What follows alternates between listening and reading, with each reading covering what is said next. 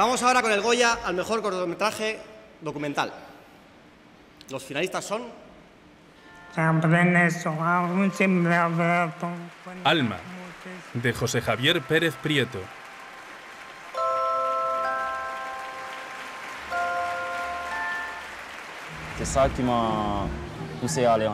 Nuevos tiempos, de Jorge Dorado.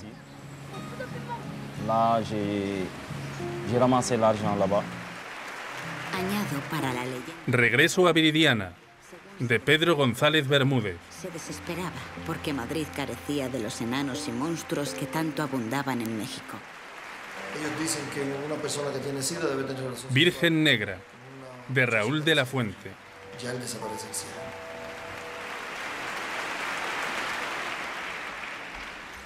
Y el Goya al mejor cortometraje documental va para Regreso a Viridiana de Pedro González Bermúdez.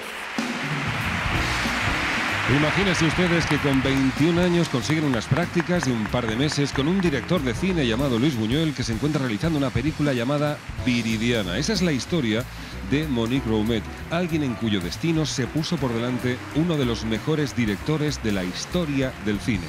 Pedro González resume la historia de una francesa que, como pueden imaginar, quedó marcada de por vida por aquella experiencia. 50 años después, 50 años después, aquella estudiante es hoy profesora de literatura jubilada y nos permite valorar y reflexionar acerca de quién era en verdad el aragonés más universal del arte, solo, si me permiten, por detrás del propio Goya.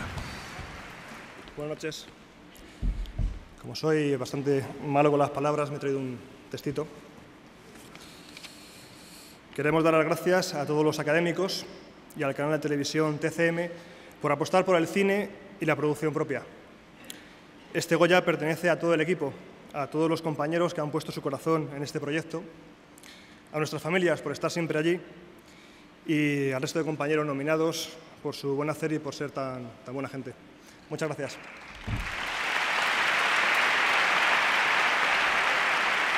Muchas gracias a Luis Buñuel por ser un genio, a Monique Roumet, esta mujer maravillosa que recordó sus experiencias en Viridiana con nosotros con mucha generosidad.